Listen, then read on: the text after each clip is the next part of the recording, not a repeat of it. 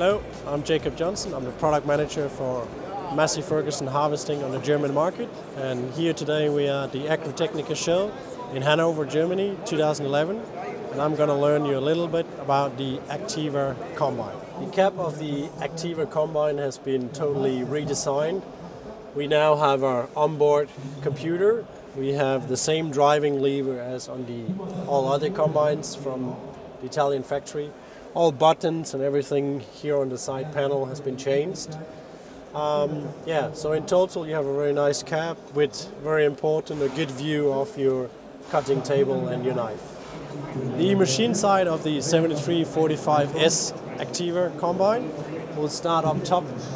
Engines today is SCR AdBlue technology. This combine has 240 horsepower.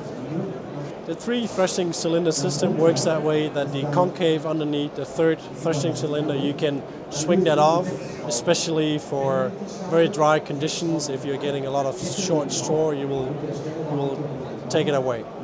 Thank you very much for joining me today on the tour around the Activa 5 Straw Walker Combine. For more information, please contact your local Massey Ferguson dealer. Thank you.